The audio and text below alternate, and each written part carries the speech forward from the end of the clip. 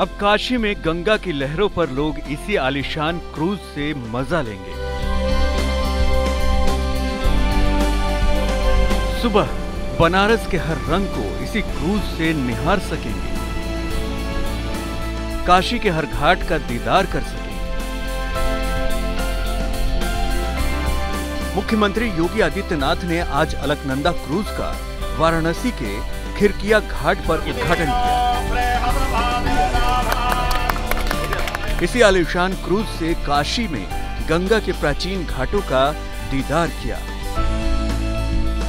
अब ये भी जान लीजिए कि इस क्रूज की खासियत क्या है। वाराणसी में चलने वाला अलकनंदा डबल डेकर क्रूज है। क्रूज का नीचे का फ्लोर पूरी तरह से एसी है। दूसरी फ्लोर पर रेस्टोरेंट के साथ फोटोग्राफी के लिए जगह बनाई गई है। सफ़र के दौरान काशी के इतिहास और घाटों की महत्ता के बारे में बताया जाएगा।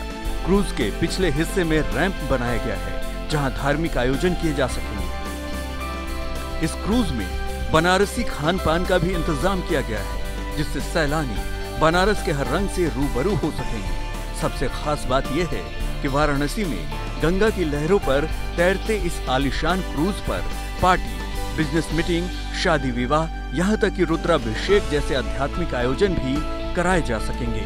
बस इसके लिए मोटी रकम खर्च करनी होगी। अगर आपको हमारा ये वीडियो पसंद आया है तो आप भारत तक को सब्सक्राइब कर सकते हैं। साथ ही लाइक कीजिए हमारे वीडियोस और शेयर कीजिए।